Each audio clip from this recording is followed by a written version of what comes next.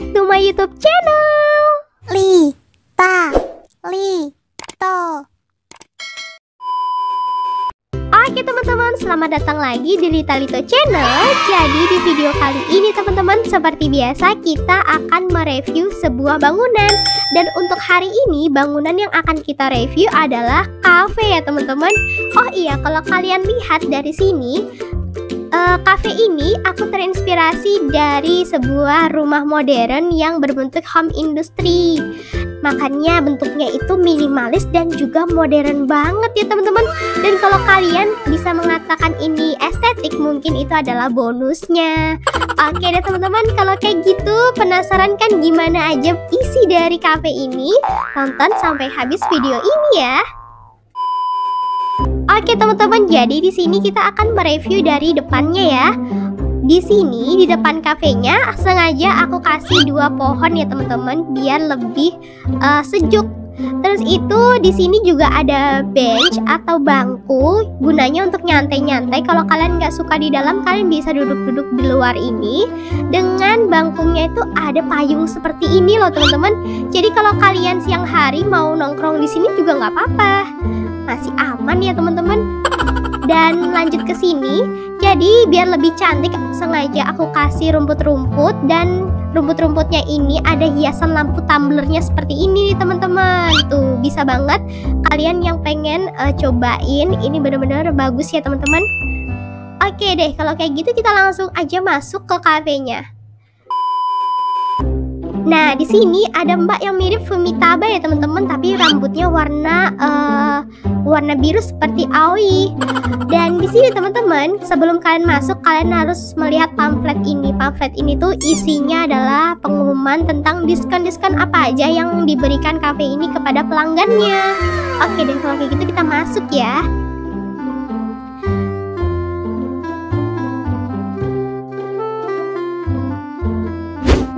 Teman-teman, jadi di sini adalah ruangan pertama dari cafe ini. Di sini sengaja ada bangku yang cuma kapelan gitu ya teman-teman. Jadi kalian nggak bisa duduk lebih dari dua orang, kecuali yang di meja ini.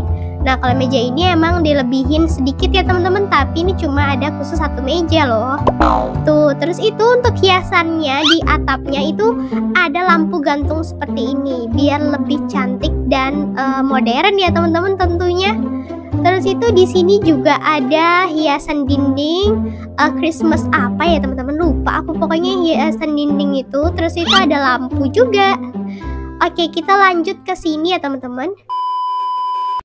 Oh iya di sini tuh dikasih pembatas seperti ini, terus tuh dalamnya ada kayak tanaman-tanaman hias itu biar lebih cantik ya teman-teman. Oke, nah lanjut ke sini teman-teman.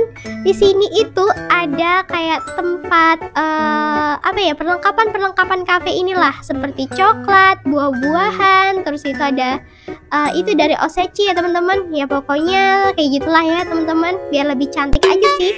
Dan kalau kalian ke cafe ini, kalian bisa cuci tangan di sini nih teman-teman. Tuh. Wah, ini siapa? Bukan Mbak Oi ya, teman-teman, tapi mirip aja. mukanya kayak mukanya Norika lah siapa sih? Oke, makanya seperti itu ya, teman-teman. Dan tara, jadi di cafe ini teman-teman ada juga loh konser-konser kecil-kecilan gitu. Ada panggung kecil dan di sini ada ibu guru siapa nih teman-teman? Nah, ini adalah ibu guru Yurika ya teman-teman yang lagi mengisi uh, suara sepertinya ya. Di sini ada mic stand up mic dan cocok banget sih sebenarnya teman-teman ya, mirip banget ya. Aku suka sih ini dan bisa kalian lihat di belakang uh, panggung ini itu tuh ada tulisannya Bon Appetit Cafe. Jadi emang cafe ini namanya Bon Appetit ya teman-teman. Dan terus itu di sini ada sound system dan dihiasin dengan lampu-lampu tumbler. Dan juga alat musiknya itu piano ya teman-teman biar lebih uh, bagus gitu ya. Klasik-klasik gimana gitu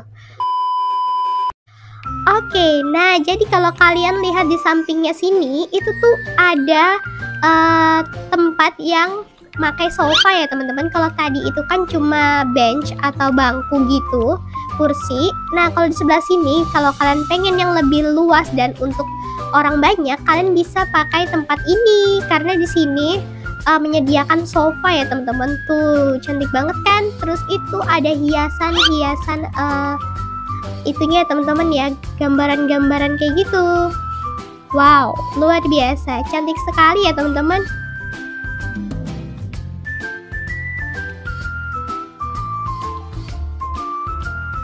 Oh iya, kita mengarah ke sini dulu deh. Di sini sebelum kalian pesan, kalian harus lihat dulu dong list menunya. Di sini ada kopi hitam, kopi aren, kopi rimi, kopi susu, kopi nang, kopi kau, kopi jadi, kopi istriku. Jadi kesimpulannya adalah kopi nang, kopi nang kau jadi istriku seperti itu ya teman-teman. Dan ini adalah cafe barnya. Ya sebenarnya bukan cafe bar sih teman-teman. Kan ini bukan minuman-minuman yang gimana gitu ya. Ini kan tempat kopi. Jadi ya ini anggap aja barnya ya teman-teman. Dan di sini ada kasirnya. Kalian tahu dong ini siapa?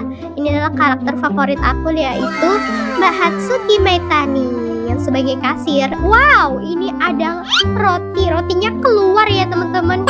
I'm so sorry nggak tahu Oke, dan di dapurnya itu cuma ada kulkas, uh, island kitchen, terus itu di sini ada mangkuk-mangkuk, vas.